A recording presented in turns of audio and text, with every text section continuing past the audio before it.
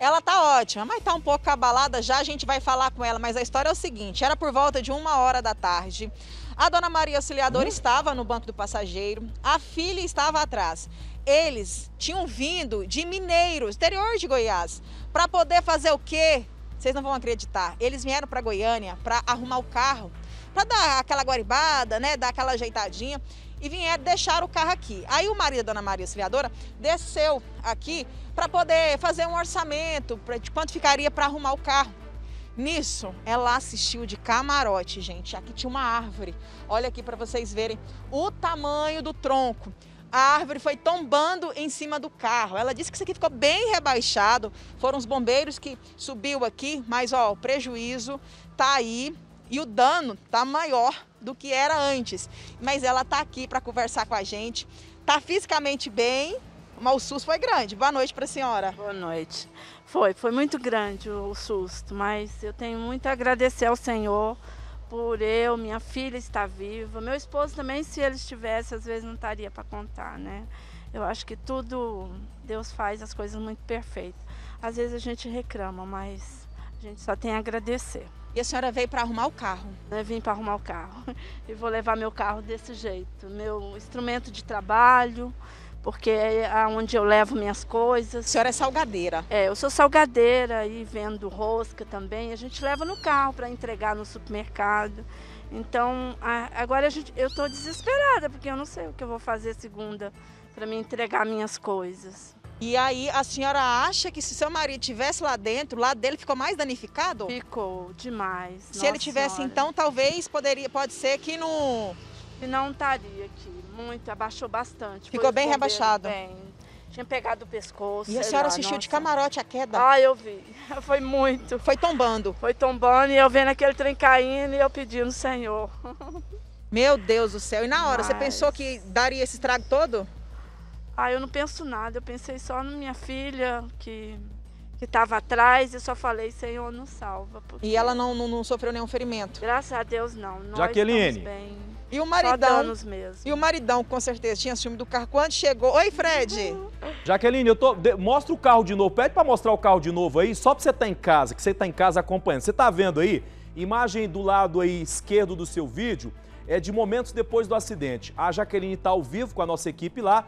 Olha o estado em que esse carro ficou. Né? Agora, nós vamos, é, nós vamos mostrar, Jaqueline, imagens do momento exato.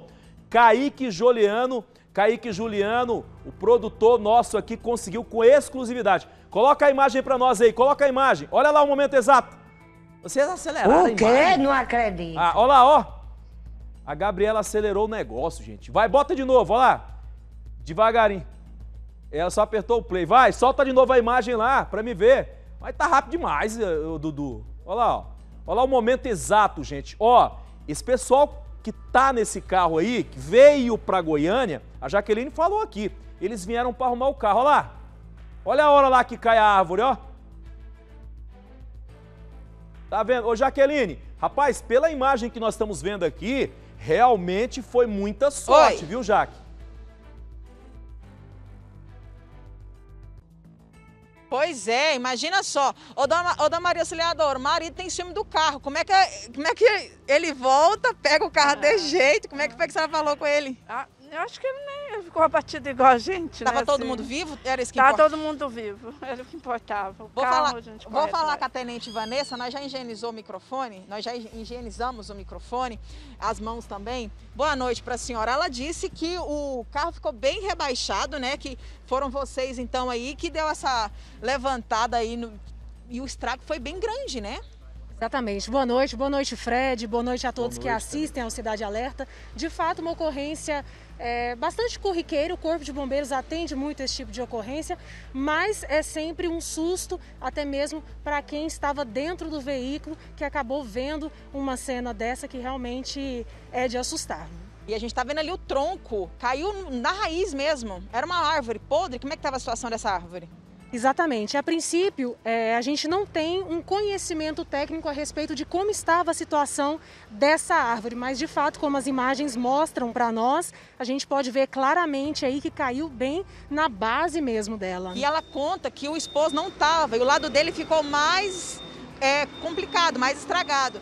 Pode ser que ele nem estaria aqui se ele estivesse dentro do carro, né? Exatamente, é uma possibilidade. O Corpo de Bombeiros conseguiu fazer a expansão, então, desse teto, né, conseguiu então fazer com que levantasse essa parte superior a fim de que eles pudessem terminar aí o trabalho. Ô tenente, é, a gente sabe de muitas denúncias de árvores que estão podres para cair e tal.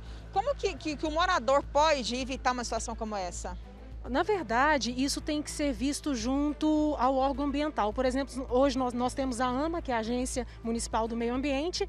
O cidadão pode entrar no próprio site da AMA e lá no site existe um link onde você pode fazer o requerimento da poda, ou seja, a retirada dessa árvore. A AMA vai disponibilizar profissionais técnicos capacitados para fazer a vistoria dessa árvore e, se assim for necessário, eles farão a retirada. Olha só, Fred, esse final é feliz para as pessoas, né? Mas o carrinho que veio lá de Mineiros vai voltar numa situação bem pior para casa. E agora, Fred, quem é que paga o prejuízo? Você quer é do direito, você sabe.